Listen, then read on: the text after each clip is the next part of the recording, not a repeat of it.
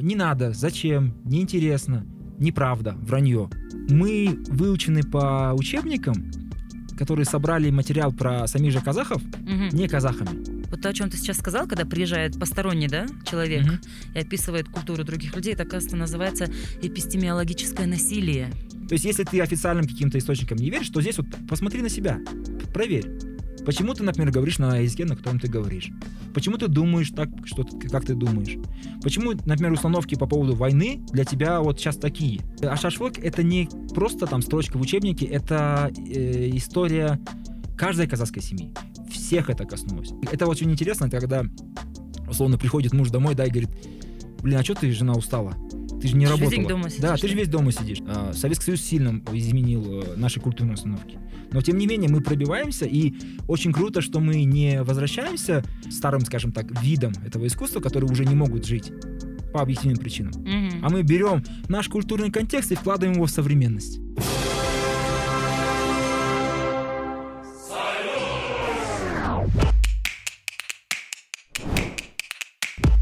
Эскимо по три копейки, дружба народов, коммунизм. Устали от романтизации совка? Мы развеем эти и другие мифы в нашем подкасте «Одеколон».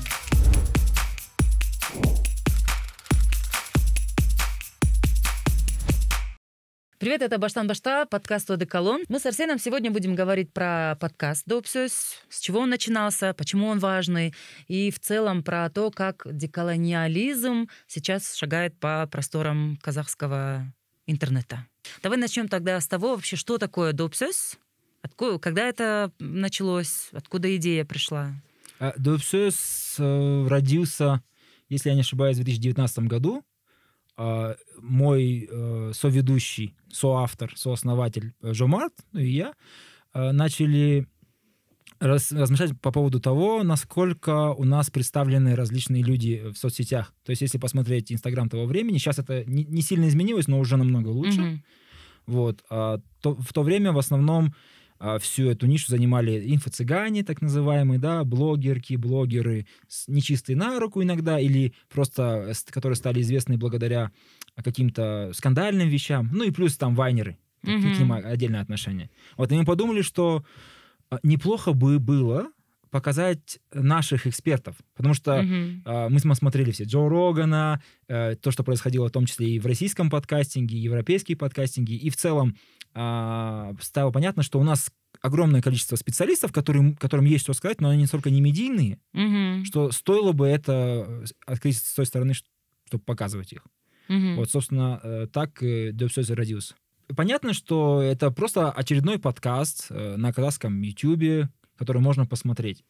Но как соавтор для меня, например, важно было э, понять, кто я есть. Потому что через разговор, скажем, с историком мы понимаем, что вот здесь, например, меня учили неправильно. А я из-за вот этого маленького факта, который мне был, скажем так, вложен в голову в советское время, ну, в советское, в школьное время, Мгм. по советским учебникам, Мгм. я вот думаю именно так. А вот если этот факт, он, например, не является фактом, это на самом деле вымысел, или он и, там, и- и- извращен как-то, он не является таким. Мгм. Возможно, я не думал бы так. И вот под- под- подбирая ключики каждой вот такой маленькой тайне, мы находим определенные ответы. Вот, э, это, по-моему, очень важно. Что касается вообще идентичности, э, мой соведущий Жомар как-то отлично сказал, что мы выучены по учебникам, которые собрали материал про самих же казахов, Мгм. не казахами. То есть приезжает в степь э, какой-нибудь э, исследователь, там, этно- этнограф, фольклорист, как это было Мгм. раньше, да, там, в царские времена, потом в советские. Он там собирает какое-то этнографическое исследование, он пишет, параллельно он может быть военным, параллельно он может быть губернатором и так далее и тому подобное. И вот мы читаем о своих же предках с уст другого С его человека, призмы. его призму используя, М, да. мгм. А подкаст наш казахский, он такой, что мы говорим о казахах или о казахских явлениях казахстанских, о том, что происходит в стране и происходило, с нашей призмы. Мгм. То есть мы внутри этого э, сообщества говорим о- о- об этом сообществе. Мне кажется, ничего более натуральнее нету. Вот то, о чем ты сейчас сказал, когда приезжает, э, как бы сказать, посторонний, да, человек Мгм. и описывает культуру других людей, это, оказывается, называется эпистемиологическое насилие. Я вот недавно узнала. А, ну, наверное, в некоторых э, ситуациях действительно можно так это назвать, потому что это, прежде всего, экзотизация. Мгм. То есть человек не понимает, что, почему происходит. А один из примеров был очень интересный. А, рассказывала профессорка Назарбаев университета в нашем подкасте. Она говорила, что один из исследователей, по-моему, Левшин, если не ошибаюсь, а, рассказывая про казахов, летом он Мгм. записывал, говорит, казахи очень ленивые. Мгм. Почему? Ну, потому что я, я смотрю, вот это жаляу, да, это вот летнее пастбище, и все так не- неспешно что-то делают, скот сам пасется, и все хорошо. А почему это случилось? Потому что на жаляу все и так хорошо. Это действительно э, отличное время. Мгм. В то время как, скажем, в сельскохозяйственной культуре, в той э, там русской крестьянской культуре, лето — это сезон, когда надо максимально Пахота, пахать, да? работа Мгм. и так далее. И когда у тебя в голове одни установки, а ты приходишь здесь в совершенно другой мир, М. он там наизнанку как будто, и при этом Да. все работает, то у тебя, конечно, рождаются мысли, что вот эти вот, наверное, они ленивые, не Мгм. хотят э, работать. Нет, просто эта система работает так, что здесь вот работать а, надо по-другому. Скот сам себе э, может э, вы- выпустить. Тем более, что часть работы, это очень интересно, когда, условно, приходит муж домой, да, и говорит, блин, а что ты, жена, устала? Ты же не Ты ж весь работала. день дома сидишь, да, ты же весь дома сидишь. А там э, огромное количество невидимых дел, Мгм. которые супер важны на самом деле для сохранения Мгм. семьи, которая э, делает сам супруга, и э, она как бы заслуживает как минимум признания. Я уже не Мгм. говорю о том, что зас- заслуживает какой-то оплаты труда, потому Мгм. что это двойная работа, если она при этом еще работает. Вот так же и здесь. То есть не понимая тонкостей, а, не понимая культурного контекста, описывать кого-то, ну, был как минимум не то, что непрофессионально, не точно. М. Вот, а мы говорим про себя на своем языке или на своих языках. И э, прям здесь. Это раз, два. а, подкаст же это устное творчество. И, и, ну, это у- вот это да, то, у что нас, наше, у да, вас, да. у кыргызов, у казахов устное творчество это то, на самом деле, что было раньше э, краеугольным камнем нашей идентичности, нашей культуры. Да. Да, это изменилось. Э, Советский Союз сильно изменил э, наши культурные установки. Но, тем не менее, мы пробиваемся, и очень круто, что мы не возвращаемся к каким-то, а, возможно, старым а, приемам, которые бы, старым, скажем так, видом этого искусства, которые уже не могут жить по объективным причинам. Мгм. А мы берем наш культурный контекст и вкладываем его в современность. Мгм. То есть э, некоторые подкасты похожи на айтос. Вот тоже сейчас хотела сказать про же. Да, это вот такой словесный айтос. Раз, Да, раз, мнение, два, три. да? И, и Мгм. это круто. По- Поэтому в этом плане я максимально, скажем так, доволен тем, что мы делаем. Я сейчас э, наблюдаю, как в Казахстане, так и в Кыргызстане такой вот э, какой-то процесс э, рефлексии да, происходит. Мы сейчас пересматриваем свою историю, да, свое же отношение к своей культуре. То, что очень долго да, это было типа, что такое культурный человек, а что такое некультурный. Это же совсем как бы ну, другое было понятие от того, Мгм. к чему мы сейчас да, приходим. Как в Казахстане сейчас молодежь? Я, я думаю, это в основном молодежь да, начинает вот это движение. Или более взрослое поколение тоже подключается к этому. Мне кажется, у более взрослое поколение э, имеет намерения э, различные, связанные с тем, чтобы изменить какие-то взгляды свои. Но в силу различных причин, в том числе возраста, тяжело перестраиваться, когда вся твоя жизнь прошла вот там 40 лет, 50 лет. Ты там уже 60, так да, ты прочно уже с- сформировался, да? Да, получается, Мгм. ты некоторые вещи зря, как будто зря жил. Это тяжело очень. Тяжело признать. Да, молодым, конечно, легче. И что касается а, пересмотра или... Так, стоп. а, начало вопроса я почему-то забыл, когда... Э, Сейчас такая, как будто бы рефлексия происходит, и мы, э, как, как сказать, вот это вот самопознание, да, или М. самоидентификация, мы сейчас как будто бы все это заново для себя А, да. открываем, да? Именно так. То есть э, у нас, во-первых, стало больше источников. Все-таки очень важно понимать, да, я сегодня и вчера тоже разговаривал с э, людьми, скажем, это тюрки России, ну не только тю- тюрки, а, монгольские народы России. У них, например, а, нет такой возможности, как наши там 30 лет независимости, за которые все-таки и в академической сфере, и в сфере просто информационной какого-то, а, я, я не знаю, э, публицистического жанра а, открылось очень-очень много вещей, которые могут действительно изменить твою позицию на, на что-либо. Например, а, одна из самых, наверное, таких вот э, тяжелых тем это ашаршылык. Это Да. голодомор в Казахстане. Да. Вот. И когда я его поднимал давно, то есть я об этом читал, э, я не помню, по-моему, в, в- школе еще. Мгм. Я тогда был поражен, и в школе меня не очень понимали. Типа, зачем об этом говорить? Э, там половина неправда, половину ты сам не знаешь и так далее. Сейчас база... Причем про шашлык, наверное, там буквально там половина параграфа, да? Да, и там и то, по-моему, там обвиняли Баев в этом всем, там, Да. интеллигенцию и так далее. Национал-сепаратисты. Махровые, да, махровые националисты, вот вся, вся эта вещь. Басмачи, все, что, Да. все, кто угодно, да, но не советская власть. А изучая это все больше и больше, я натыкался на определенные э, непонимания. Типа, не надо, зачем, неинтересно, неправда, вранье. Там, на самом деле, вот смотри, города построили. Ну, вы, наверное, это то же самое слышали. Да. Вот. И каждый раз, когда я встречаю людей, которые говорят, блин, спасибо. Типа, вот эта тема для меня была важна. Или кто-то пишет там в директ. Типа, «Эт- эту тему я теперь хочу узнать. Это, типа, история моей семьи. Для Потому кого же это очень важно, переломный момент в их самосознании, да? Именно Когда так. это от вас Потому слышат? что э, а шашлык это не просто там строчка в учебнике, это э, история каждой казахской семьи. М, У всех есть кто-то, кто... Потому что мы живем большими семьями в том числе, Да. то есть аулетами так называемыми. То есть это род, семья. Всех это коснулось. То есть это Мгм. твоя... То есть кто бы о ней ни говорил, к- там, вранье, не вранье, ты не можешь, э, э, скажем, сказать, что вот э, истории твоей аже, твоей бабушки, они То, что там- это неправда, Да, да? неправда. М. То, что там у тебя было там 8 дедушек, из них осталось двое, это неправда. М, Потому что тогда ты сам себе будешь не верить. м. То есть, если ты официальным каким-то источникам не веришь, то здесь вот посмотри на себя, проверь. Почему ты, например, говоришь на языке, на котором ты говоришь? Почему ты думаешь так, что ты- как ты думаешь? Почему, например, установки по поводу войны для тебя вот сейчас такие? Мгм. На- Насколько это вообще э, т- твои мысли? Либо они всегда были с тобой? Насчет Второй мировой? Или Насчет, насчет Второй мировой, что окей, сейчас? но я говорю про сейчас, сейчасшнюю Мгм, войну. Ну, в принципе, насчет э, войны в Афганистане, я имею в виду советскую интервенцию, мгм. интернациональную войну так называемую. Насчет любых других. Мгм. То есть либо это э, постаралась школа, там, советская, постсоветская, Мгм. либо российское информпространство, тебе объясняли, что, ну, правильно, что в Грузии война, потому что там они обстреливают а, Цхинвали, условно, да? Мгм. Вот. И, и либо же это навязано, и, и тогда тебе, может, не нужно это делать. Мгм. Поэтому в этом плане мы действительно многие вещи пересматриваем. А открываются все новые...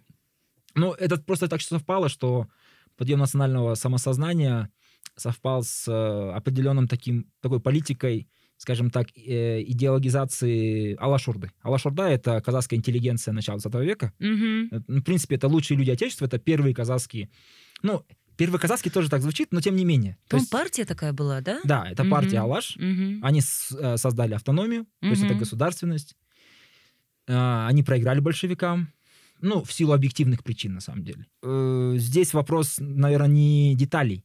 Здесь Мгм. вопрос о- общего такого потока э, а, идей, которые Идей, идут. да. А это, идеи, это понятно, это казахская государственность. Мгм.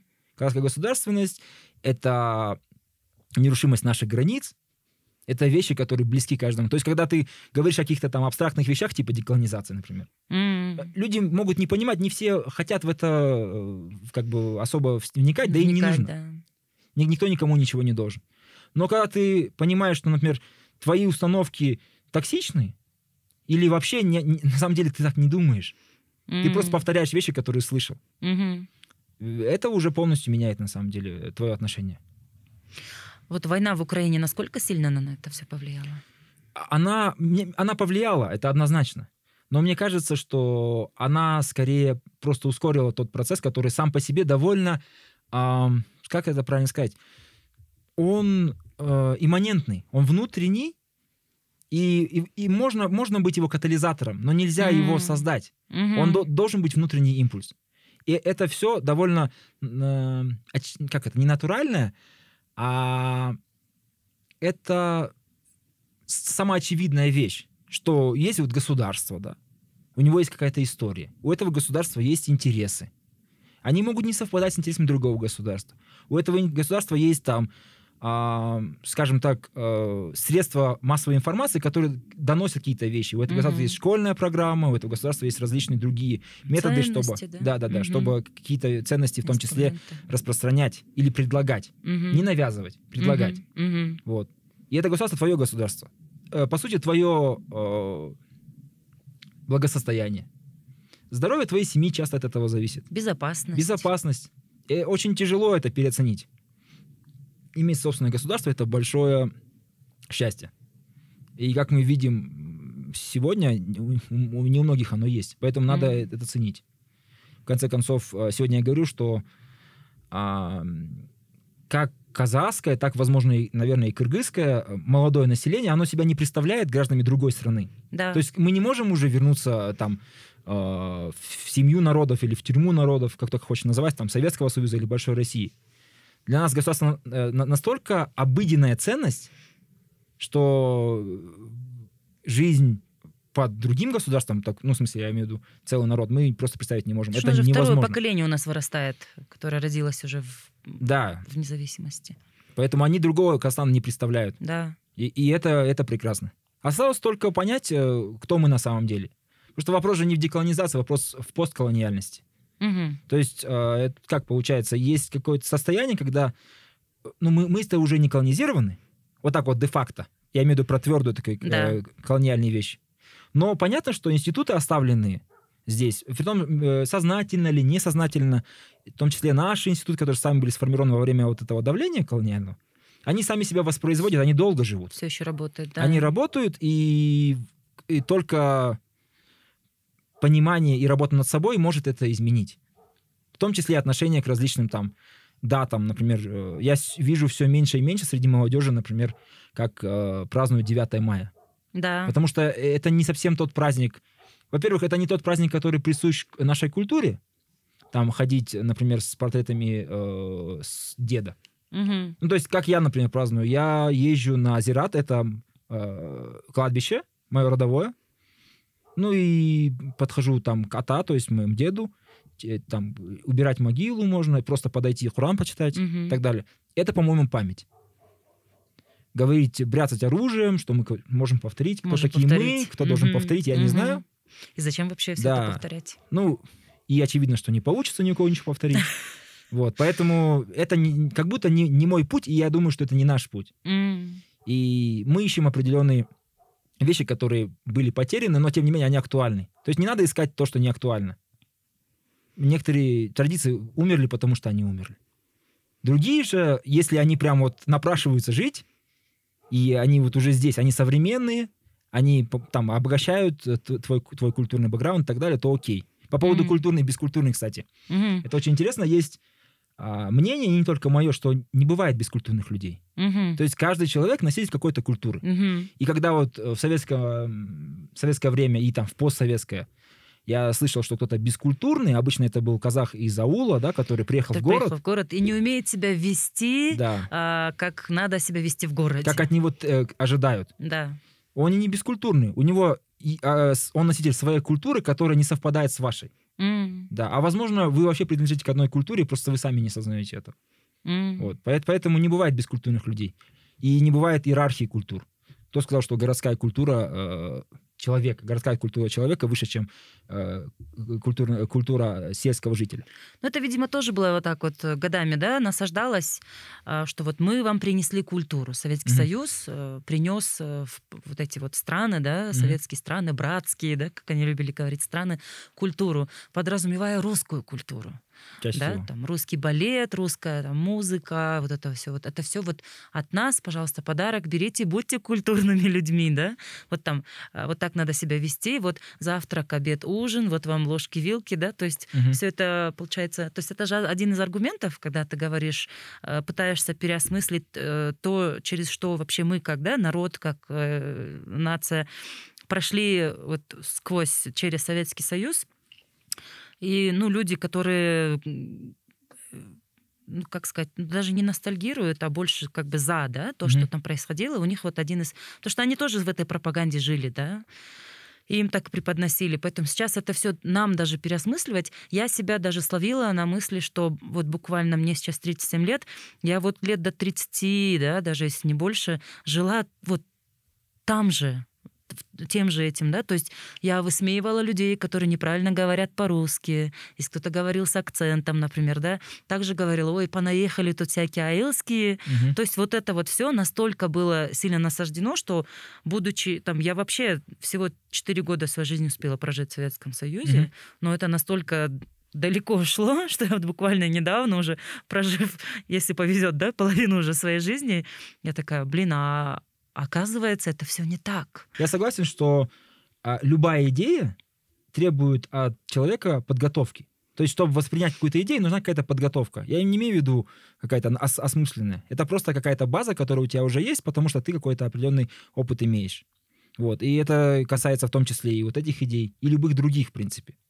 Вот. Что касается меня, у меня это было, у меня это было... Потому что я, в принципе, из города, который раньше назывался Целиноград, я не люблю это название, Мгм. он называется Ахмула, а сейчас он называется Астана и так далее. Э, И он э, русскоязычный город на севере Казахстана. До Мгм. столицы там а, был определенный, ну, скажем так, определенно э, демографически он выглядел так вот. Это Мгм. этнический окрас был города вполне такой вот. Мгм. Вот, это раз. Два, э, русская школа, русское телевидение. Э, Это, в принципе, то, что человек потребляет, и он считает это своим, он Мгм. считает это там важным и правильным. Как правило, тяжело оспаривать авторитет, особенно когда ты ребенок. Да. Да. все изменилось, наверное, ну, в году 2014.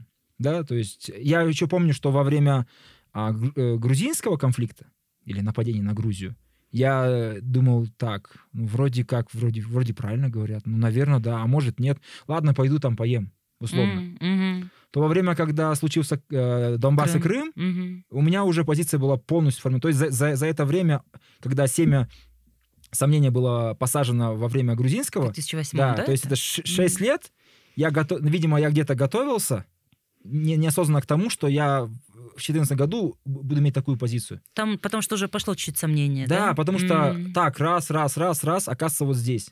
Два, там, два, три, четыре, оказывается, границы. А у нас тоже границы. М. А, а у нас вот так вот. А, а- а где я? Где моя семья здесь? То есть насколько, что моей семье здесь нужно? Мгм. Безопасность нужна. Мы хотим уезжать из Казахстана? Нет, не хотим. А что, если с тем же самым сюда к нам Вот придут, именно. да? М. То есть у, у нас есть национальные интересы, и, и они вот такие. И я бы не хотел другого. И в 2014 году это был пр- просто такой, типа, все. И притом это не было больно. Я, видите, видимо, эти 6 лет просто потихоньку э, рос внутри себя, как просто как, я не знаю, не, не хорошо будет сказать, как змея, но я просто сбросил прежнюю кожу и дальше, и дальше пополз. М, Да? м. Вот. Поэтому здесь я был полностью готов, и потом уже дальше было легче. Потому что ам, вещи, связанные с, э, не знаю, с национальным унижением, они же все равно, э, даже если ты говоришь о том, что там Советский Союз такое-то, такое-то государство, да, а, там, э, как любят говорить, была дружба народов, не было э, там, шовинизма, национализма. были и так далее. Все были едины. едины и так далее. Но потом ты, опять же, э, мы же базируемся на опыте, в том числе наших родных, Да, слышишь истории. да, слышишь истории дядей, теть, слышишь истории там просто прохожих, своих родителей. И если у тебя есть мозги, ты сопоставишь. М. Ну, наверное, там был а, и шовинизм, и расизм. Наверное, так было. Наверное, там были другие вот такие вот дискриминационные средства, чтобы, например, казахов не было в городах много. Мгм. Как, как прописка, например, институт прописки. Мгм. На- наверное, были и другие вещи. Просто, наверное, по мне эпический пример есть а, Маншук Маметова. Мгм. Это герой, о котором рассказывают в школах. Геройка, героиня, о которой Мгм. рассказывают в школах. Она жен- женщина-солдат. Вот герой Союза и так далее и тому подобное. На, на ее фоне строится какой-то военный миф. Но потом смотришь, что ее отец был репрессирован. И- Мгм. И у Али не было особого выбора. Потом смотришь и думаешь, так, во время шашлыка умерло столько казахов. Нацистская Германия столько не убила, даже близко.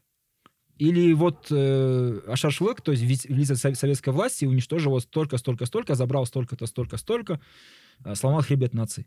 А можно ли называть такую войну за это государство отечественной? Где там отечество? Мгм. Можно Чье это назвать? вообще отечество, Да, чье да? отечество? Вот, понятно, что тогда эти вопросы не задавались по, по разным причинам. Все-таки, в конце концов, 34-37 год они очень сильно заставили людей замолчать. Замолчать, да. С- э, Было страшно говорить что-либо. Но, ну и на- накануне войны тоже репрессии продолжались. Да и после войны тоже, И да, вот эта войны. риторика, лишь бы не было войны, Мгм. самое главное это мирное небо над головой. Как бы с одной стороны, это иногда думаешь, э, властям это очень на руку, да, когда народ просто боится уже войны, а все остальное, что он там вытворяет, что там государство делает, это уже как будто бы на второй план отходит. Ну, я просто согласился бы с вот лишь бы не было войны, если бы была какая-то постоянно э, серьезная угроза войны, или там вокруг все, все воевали, вот прям вокруг-вокруг, да, каждый сосед Мгм. воюет с друг другом, а у нас все там мирно, мы такой островок. Но вот, ну, так же не бывает.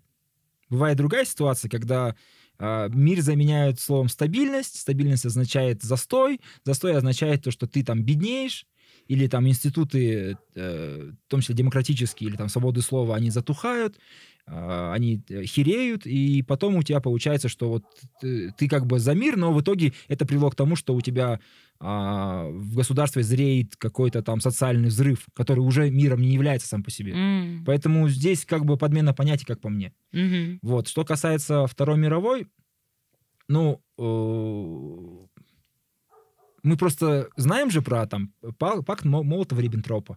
Мы знаем про так называемую зимнюю войну с Финляндией. Мы знаем также, что э, войска были использованы здесь, в Центральной Азии, в том числе для подавления восстаний народных. Да. Э, И после этого, ну, мне кажется, что это не очень актуально. Да, нацизм — это зло, концлагеря — это страшная вещь, Холокост должен никогда не повториться. Но оправдывать одно зло другим злом неправильно. То есть и это зло, и это зло. Просто правильнее в истории было так, чтобы вот это красное зло победило это коричневое. М. И так и случилось. Если у человека есть э, огромное количество непроработанных травм, то это он опасен Мгм. для других. Потому что травмы действительно э, формируют плохую среду, травмы заставляют делать плохие вещи. Когда только он проработал их, он намного лучше. На самом деле обществу правильнее будет проработать вопросы. Потому что чем больше затягивать э, те вопросы, которые накопились, тем страшнее будет их потом решать. Потому что, понятно, да, это как, Такой как, как эффект, болезнь. да? Ну, то есть нельзя прийти к доктору на там, термальной стадии рака и сказать, вылечи меня. М. А в начале обследования можно. Вот так, это так. Что касается межнаца, мы, скажем так, пропагандируем не- не- не- неплохое слово, наверное. Мы э, говорим о гражданском национализме, о гражданской нации, о том, что называется в том числе политической нацией. И эта нация не связанная столько с этносом, сколько с э, паспортом, с ценностями, с теми страхами, которые люди разделяют, и с теми победами, которые их ждут, с их надеждами. И это не, э, это не имеет... То есть этот национализм гражданский не имеет лица в плане этнического. Мгм. У него не азиатское лицо и не европейское лицо и так далее. У него голубой паспорт Республики Казахстан Мгм. и вера в том, что наши границы незыблемы, наша государственность должна а, про- как бы существовать в веках, и то, что нашим детям будет лучше, чем нам. Вот этот вопрос. Что касается вот этих межнацев, именно такой ответ у меня. Потому Мгм. что, когда мы говорим плохо о Советском Союзе, или я когда говорю про шашлык, я не говорю плохо про русских. Мгм. А русский народ э, пострадал от э, советской власти тоже М, очень много. Так же, да. Это и уничтожение крестьянской культуры, и в том числе интеллигенции. Те же репрессии. да. И репрессированы были, если посмотреть лагеря по Казахстану разбросанные, там фамилии разных людей. Тот же ГУЛАГ, да? Да, да, Мгм. ну вот, например, Карлак Мгм. в Казахстане или Алжир. Мгм. Там фамилии разных людей. И мы все объединены этим, этой трагедией. Если какому-то человеку, э, скажем, пусть у него будет славянское происхождение в Казахстане, Мгм.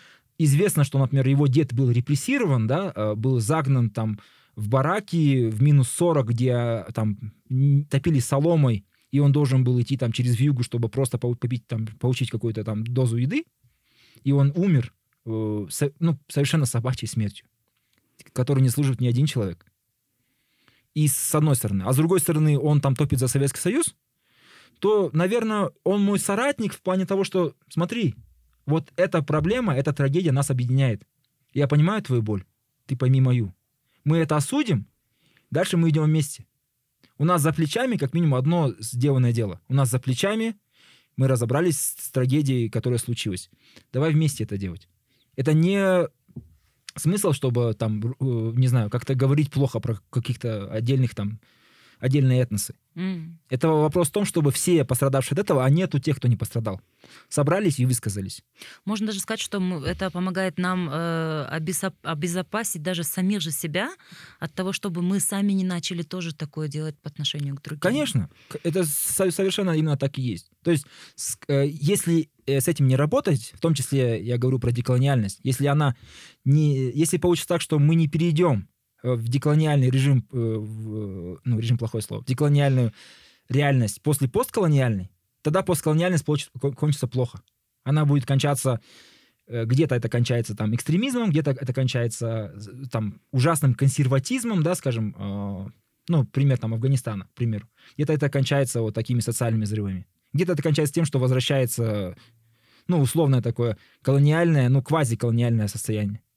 Ни один из этих вариантов меня не устраивает. М. Я надеюсь, что моих сограждан тоже. Последний вопрос про, ну вот актуальна сейчас новость. э, Отмененный концерт э, Камызяков. Мгм. Я видела, как э, уже российские, да, некоторые СМИ пишут, казахские националисты добились отмены, да, вот Кам- Камызяков. В Казахстане как на такие вещи реагируют? На российские СМИ, Когда на вот такие так заголовки, вот описывают, да. Когда вот такой, такие идут, такая их, с их, с их стороны така- такое преподнесение, такая интерпретация вашей реальности. честно, э, одним из, одной из вещей, которыми я даже горжусь немножко, то, что у нас на Добсёз, у меня и Жумарта, и наших гостей получилось, э, может быть, в меньшей степени, но э, добавить маленькую толику от себя в том, чтобы слово «националист» начало пониматься по-другому. Не как в, э, его, его понимали в советское время. Как, Что-то бли- близко к нацисту, да, нацизму, даже, да, шовинизму, Мгм. там, ксенофобии, нет- нетерпению к другим. Нет. Мы пропагандируем именно то, что национализм, этни- не этнический совершенно, а гражданский и политический, он про другое. Поэтому многие, наши алашурдинцы были националистами. И это примеры, которыми стоит следовать. И многие люди, кот- с которыми раньше говорили, нет, нет, я не, не такой, я сейчас вижу, что они говорят, да, я националист. Для меня важны интересы нашего государства. Потому что это напрямую, зависит, ну, напрямую влияет на мою жизнь, на жизнь моих сограждан, на мой город, на, на мою, условно, там, область и на все, что происходит со мной. Поэтому, да, я э, отслеживаю, э, отстаиваю интересы своего государства. Вот, поэтому я, ну, говорю, окей, хорошо, я горд быть националистом. А что касается в целом российских СМИ, ну, ну, я не знаю, они могут писать все, что им угодно, как бы это другая страна, у них там своя повестка. Они писали и худшие вещи про нас, и про нашу территорию, и про какие-то свои претензии. Как бы, you're welcome. Э, не страшно. Мы, нам важнее здесь свое укреплять, да. Да, мы, мы же э, уже какое-то время пытаемся отойти от этого информационного поля э, именно российского.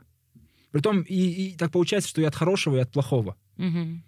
Потому что, ну, есть определенные вещи, связанные с внутренней движухой. То есть у нас кухня внутренняя тфу она развивается в последнее время очень хорошо. Я говорю про контент-мейкинг, я говорю про, а, скажем, поп-культуру, песни, которые происходят, там, певцы, э, книги выходят, э, кино, а подкасты, опять же.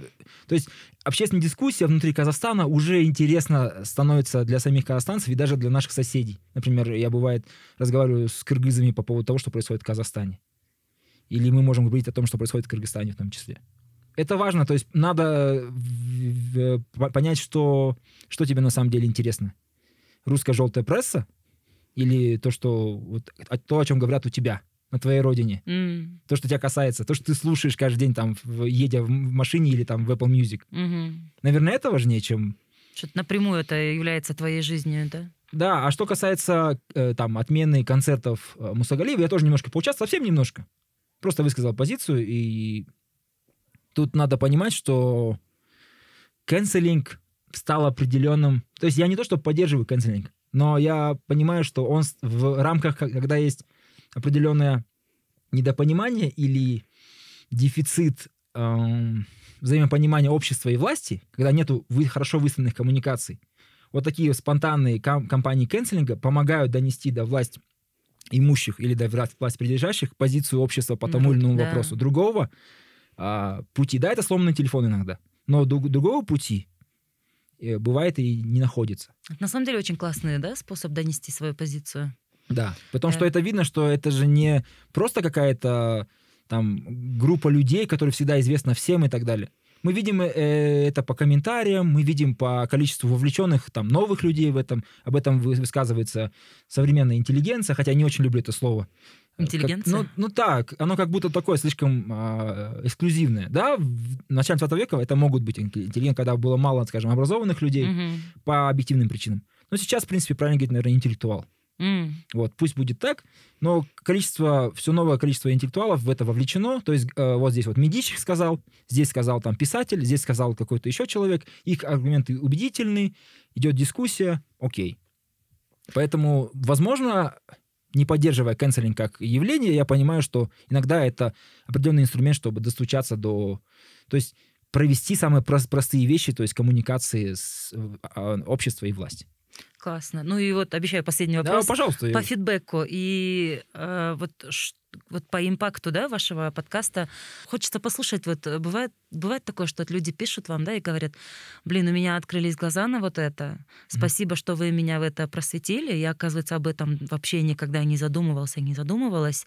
И вот конкретно после того, как я вот, да, ваши там, подкасты послушал, послушала, у меня там очень много там происходит переоценка ценностей, да, то есть именно вот по вот этим важным темам, которые вы поднимаете. Мгм. Ну, такое случается, это всегда очень приятно. А, Если ты, скажем так, поделился своей идеей хотя бы с одним человеком, и это воспринял, это уже победа. Вот. А если это, ну, бывает чуть больше, то, то это всегда приятно. То есть это может быть связано с историей, с, э, с интерпретацией каких-то событий, связано с культурой. У нас была, а, наверное, мифологиня, правильно сказать, Зира Мгм. Наурзбаева. Мгм. Это очень сейчас известный человек в Казахстане. Она поднимает вопросы казахских мифов, как они связаны с общетюркскими мифами, как они сегодня, то есть как, как маленькие вещи, которые мы говорим каждый день, на самом деле имеют какое-то значение, которое идет из веков. И это всегда очень интересно, потому что это связано ча- ча- часто, например, с деторождением, с Мгм. воспитанием ребенка, Мгм. с, с теми вещами, которыми мы сталкиваемся ежедневно. И вообще не задумываемся, Не да? задумываемся, О да. чем это? И когда люди пишут, блин, спасибо, оказывается, это так. Типа, и теперь я буду знать. Или там, я не знаю, мы говорим про какие-то а, вещи, ко- которые, ну, кажутся очевидными, на самом деле это вот работает именно так. И это супер. Или когда там приходит, скажем, а, врач-гинеколог, или там а, врач, эм, уролог-андролог, и говорят как будто про вещи, о которых не очень стоит говорить, Мгм. кто-то так скажет. Но нет, здесь нет никакого ята, это что, естественно, не без- безобразно, это медицина. И, конечно, здоровье каждого человека, оно важно. Для него прежде всего. Поэтому, если мы расскажем, что вот это вот делать нельзя, или, скажем, своего ребенка надо там учить вот так, вот так, вот, чтобы он избежал, например, э, домогательств, и за это отдельно были- было, было много благодарности, то, ну, я считаю, что эта миссия выполнена. То есть э, не- здесь нет вопроса просвещать, Мгм. это тоже т- такое очень Как-то советское, чуть-чуть да. Как будто, да, есть да, какие-то темные даёт? люди, ты их просвещаешь. Нет, Агарту, да, вот это? Да, Ага. агарту именно так. Нет, ты просто делишься информацией, делишься идеями, делишься мнением. Мыслями, Если да. кому-то они зайдут, типа, окей, я тоже так думаю, оказывается. Или я с тобой согласен. Или мне это интересно, я пошла дальше, Да, да, да, эту да. историю Там дальше изучать. потом в Википедии так нажимаешь, от Мгм. туда, туда, туда, туда. Это круто. Мгм. Поэтому это всегда приносит удовольствие. Здорово. Ну, успехов дальнейших. Спасибо. Процветания подкаста. Вам тоже. Спасибо большое за беседу. Это был подкаст «Баштам Башта» под названием «Оды Колон». С нами сегодня был Арсен, соавтор, соведущий э, по- подкаста «Допсёс» в Казахстане. Ну, мы с вами увидимся в следующих выпусках. Пожалуйста, делитесь э, нашими историями, делитесь нашими выпусками, а, кидайте ссылки друг другу. И если у вас есть интересные темы, вопросы, пишите нам на почту. Это баштанбашта собачка gmail.com. Мы всегда будем рады любой обратной связи. Всем пока.